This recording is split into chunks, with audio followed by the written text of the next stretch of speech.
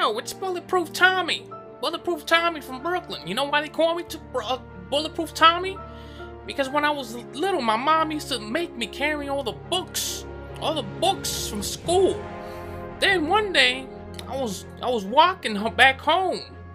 I had this gigantic book bag on me with a whole bunch of books. Then you know what happened? Some hoodlum bastard started to shoot, right? And I could hear the bullets pass my, my, my ear. They, one of those bullets hit me. And you know what happened, folks? My book bag stopped the bullet. And ever since then, I've been called Bulletproof Tommy from Brooklyn. You are tuning in to the Simonetti Source. The Simonetti Source. Wow, that was that was really good. That was hilarious. Anyways, guys, I'm sorry for the improv real quick. It was just a little thing I did right quick. Anyways, Yankees fans, yet again, this Felix from NYYNEWS.com. Well, like almost us like usual.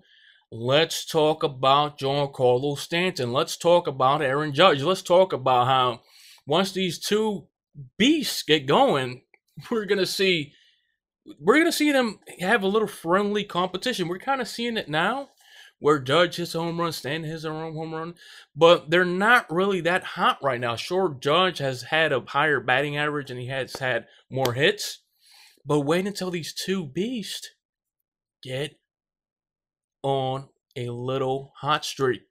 Or on a little hot streak. I can't even freaking think right now. I think Bulletproof Tommy was freaking hilarious. You can't even lie about that. So, anyways, folks, we might see. I know these two are not going to hit home runs like Mark McGwire and Sosa, okay?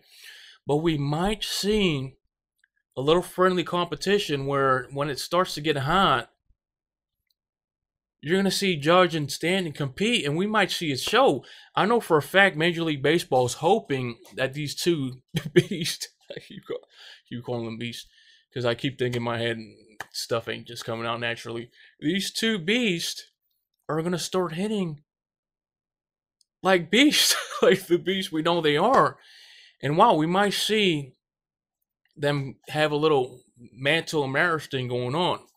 We might see we, obviously they're not like I said they're not going to hit that many home runs like Mark McGwire Sosa did for obvious reasons, but we might see them maybe hit a pair of 50 home runs each. Who knows?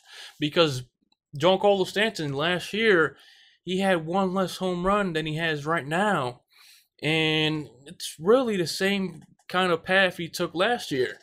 So we might see that. Let me fix this right quick. It's all live, folks. It's all live. No editing here. So you're going to see me fix stuff here and there. But wait until they both heat up. Is going to be great for baseball. Great, obviously great for the New York Yankees. And, you know, it's a show.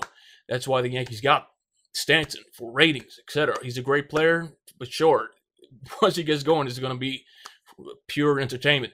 So let's talk about Luis Severino. Luis Severino, again, pitching like Luis Severino has been pitching for this season and last season. He might just win the Cy Young Award this year, folks. And this is the thing about the Yankees. Look at Luis Severino. Severino. He is the blueprint in how an ace is supposed to pitch.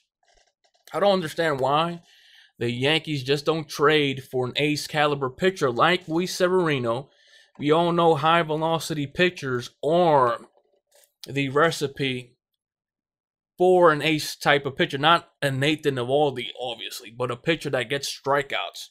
So this deadline, the Yankees are just going to be deadly if they add another pitcher that's going to be a one-two punch with Severino. It's just going to be great baseball once the once we see the weather pick up. So Yankees fans, Bryce Harper's coming to town. Expect him to audition for the Yankees. You know the Yankees have enough money to obtain him next uh, uh, off season. I don't think the Yankees are going to get Manny Machado. Manny Machado wants to play shortstop. You could just forget about that. But Bryce Harper, I could almost bank that the Yankees are going to sign Harper just because he's having a crazy year, and that short short porch and right field in Yankee Stadium will work for his advantage. And like I said, again, the Yankees are just going to have a ton of money. So expect Harper to come in here for those two games and audition. I don't know if the Yankees are going to take those two games. I don't know. Who knows? Bryce Harper is just hot right now. He might carry the Nationals to a victory, but we all know he has that reputation of choking in big situations. So who knows? Then the Yankees go to Kansas City. So, but whatever. This Tuesday, that series kicks off. Expect Harper to audition for the New York Yankees. Let, let me know in the comment section below, guys. Do you want Bryce Harper on the New York Yankees if the Yankees can afford him? Obviously, they're going to make some space out there in the outfield for him. So, obviously, so just let me know in the comment section below, Yankees fans, and you see the background. Obviously, I could easily block this with a green screen or whatever, but I don't want to. Obviously, it's unique. I'm just gonna put a few Yankees bobbleheads up there where you see that that little ledge thing right there, and um, yeah, I could easily uh fix that. But um, I'm gonna show you a picture right now of how my PC set up and the screens and stuff, and stuff like that.